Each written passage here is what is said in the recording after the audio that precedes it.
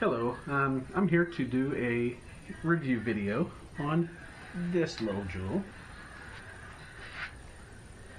This is the LYX Pro CMG50 uh, shotgun microphone. Um, it is a roughly 10 inch long microphone and um, it uh, has an XLR connection. It is a uh, condenser microphone so it does take does require 48 volts phantom power.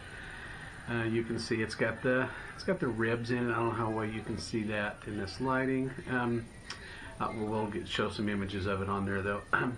it does have uh, a place where you can uh, take it apart right here like this, and you can put a double A battery in there to power it. Um, put that back together. It does have a uh, an on-off button. Probably the most difficult button I've ever seen to use. It's very hard. It also does have a high pass filter off and on.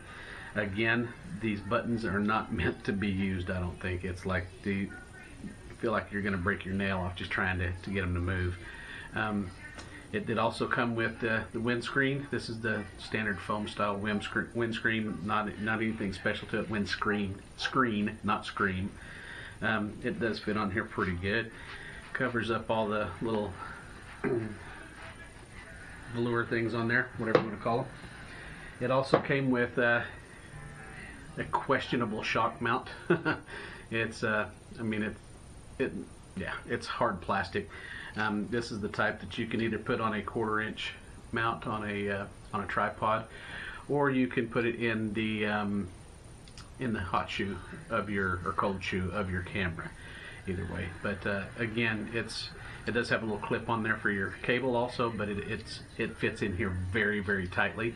And then, like I said, that's fairly stiff. So this isn't really a shock mount. This is a drop mount. it's about the only thing I could really think to call it.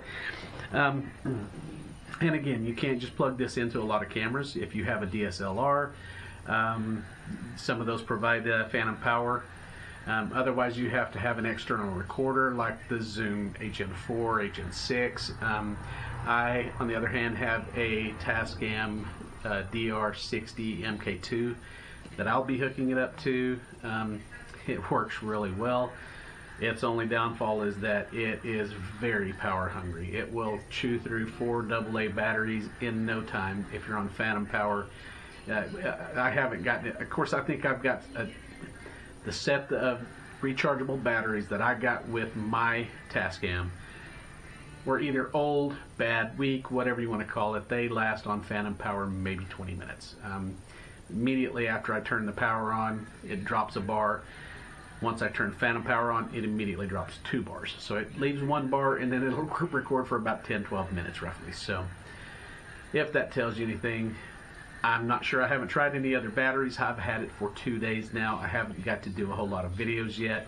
Um, I just got my camera, the camera that I'm shooting on, which is a uh, a, Caso, uh, excuse me, a Caso V50 Pro. Um, it's an action camera. I love it. Works great. I got a gimbal to go along with it, and um, I love using the gimbal. It's it's fun to shoot with. But again, let's get back to the microphone. Um, again, it's a 48 volt phantom powered microphone, shotgun condenser microphone. Um, I have it on a boom that I will have pointing at my mouth um, about 10 12 inches above my head. Um, so you can see the difference. Right now, we're using the Akaso camera microphone, the built-in microphone, so that's what you're, you're hearing now and I will turn over to the um, to the, the shotgun mic right now. Okay, and we are back now. Um, we are back on to, again, the Akaso camera, but this time I've got the, the uh, LYX Pro, LYX Pro, however you want to pronounce it, um, shotgun microphone going into the Tascam and then I will be mixing them later on my um, recording software. So this is how much different it sounds. I don't know which one you like better. I will say that um, altogether, microphone cable, um, I got the kit, the Tascam with the kit and everything for 179. The microphone was probably $40, I believe, somewhere around there, $38, something like that on Amazon. Um, you also need a microphone cable to go along with it. Um, that was a very loud motorcycle that just drove by. I'm not sure if you heard that. Um, and also, I, I, there is a TV that you can probably hear in the background that, uh, yeah. Um, anyways, uh, I would love to make my house completely silent for these videos, but I can't afford that luxury. So this is what we get. Um, anyways, uh, so other than tripod, the boom microphone or the boom stand and all that kind of good stuff, the microphone, a cable, and the Tascam recorder, a little bit over $200. And as you can see, it makes a huge difference on audio in your videos. So it is well worth it to do this.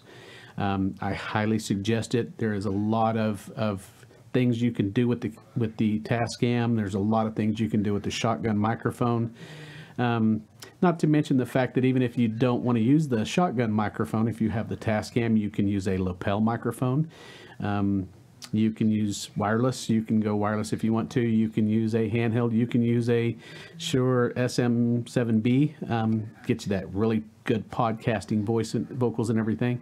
That if you don't have a uh, a thousand dollar DSLR with XLR inputs on it, um, whatever, then you can get something like this. I personally will never ever go with a thousand dollar DSLR because I do this as a hobby. This is one of the things that I enjoy doing, but it doesn't get, make money for me. So why would I spend that much money on it?